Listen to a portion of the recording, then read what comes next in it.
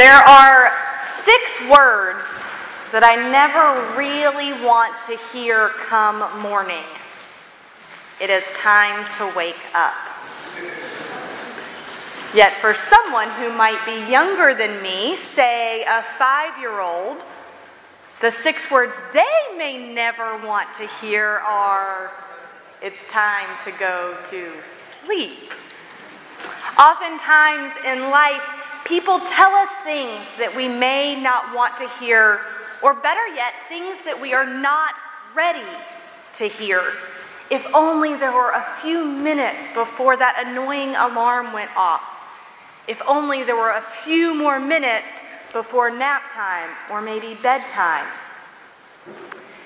In today's gospel, Peter is shocked to hear what Jesus is telling his disciples.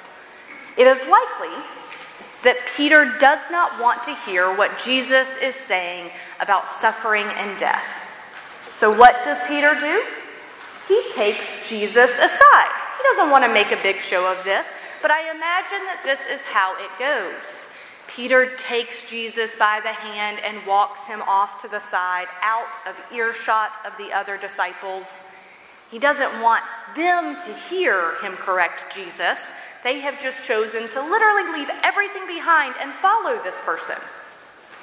So, in a low voice, Peter tells Jesus, You have it all wrong.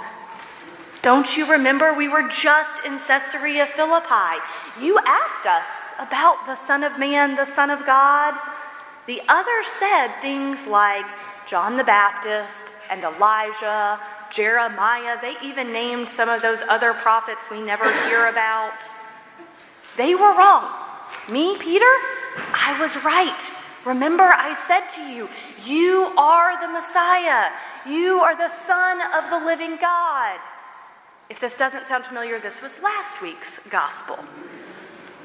And then, Jesus, still listening, Peter continues to go on and says, God forbid it. This suffering that you speak of, this dying that you say must happen, that is not what the Messiah does. You are here to save us. You cannot do that if you are dead. And so, how does Jesus respond to this being taken aside? Rebuked is the word that the text uses he looks at Peter and he says, Get behind me, Satan. And then he says, You are a stumbling block to me, and you are setting your mind on human things. I've heard this in many different gospels. We hear it every year. Jesus' response can come, quite, come across quite harshly. It may seem as if Peter is telling Jesus to go away.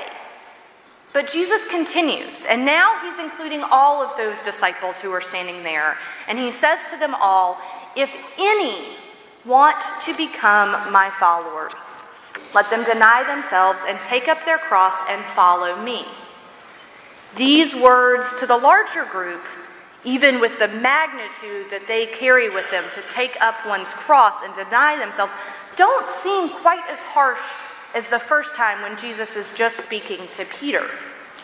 However, these two responses, Jesus to Peter and Jesus to the whole group, are not actually all that different. Jesus has told Peter to get behind him. Not necessarily in a you are lesser, I am greater kind of way, but think of it as a come behind me so that I can lead you, so that I can save you kind of way. And then when he begins speaking to the disciples, the literal translation of Jesus' words are if any want to come behind me. We hear it read as if any want to become my followers, but the beauty of the original Greek, which I think is lost, has Jesus using the same word, saying, if any want to come behind me. The shared adverb preposition come behind is used in both places. Get behind me. Come behind me. The same place that Jesus tells Peter to be is where Jesus tells all others to come if they wish to choose Christ. So, with that said, what does it mean to get behind Jesus? I can't help but think of the number of times when I was younger that I would hide behind my parents. Maybe if you were scared, or maybe just being a little shy that day, but if you can just fit right behind that leg so you don't have to see whatever that scary thing might be in front. Being behind was a place where the one in front of me would take care of me, would keep me from harm, keep me safe. The one in front of me might even save me when the time came. Getting behind Christ is a place that saves us.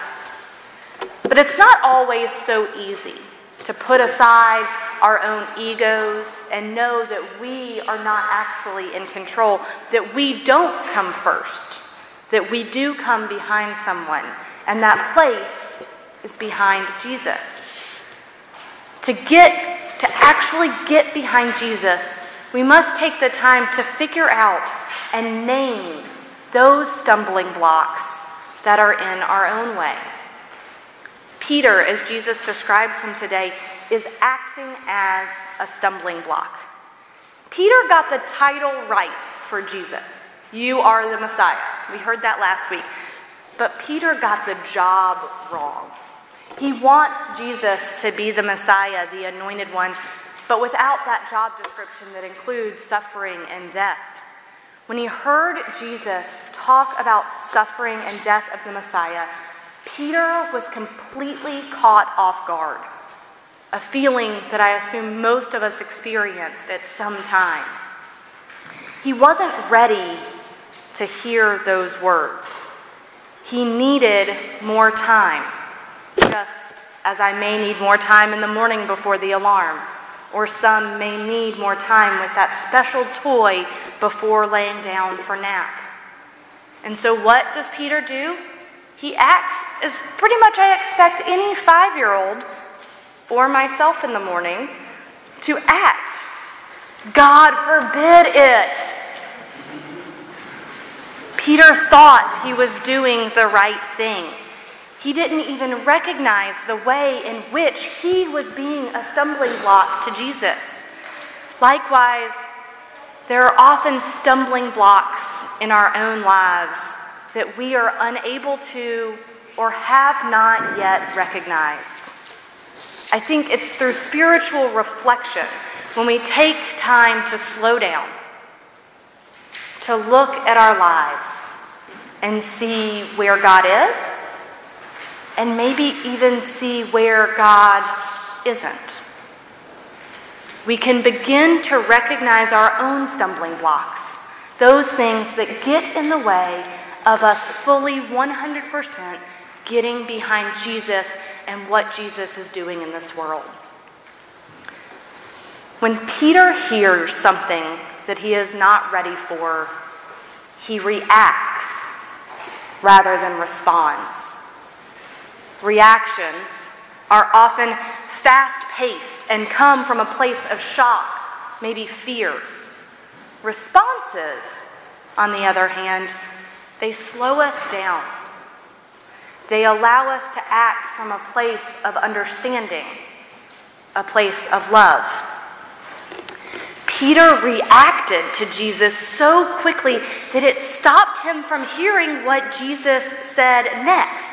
Peter got caught up with hearing about suffering and death that he missed the part where Jesus talks about coming again in glory. Peter misses the part where Jesus talks about rising again in three days. As we take the time to look inward, to look at our own lives, the hope is that with the help of the Holy Spirit, we respond to what we discover about ourselves or others rather than react out of fear or shock. When I take time to reflect on my relationships with others, my relationships with God, my relationship with myself, I often find things that I do not want to hear, or find things that I'm not ready to hear.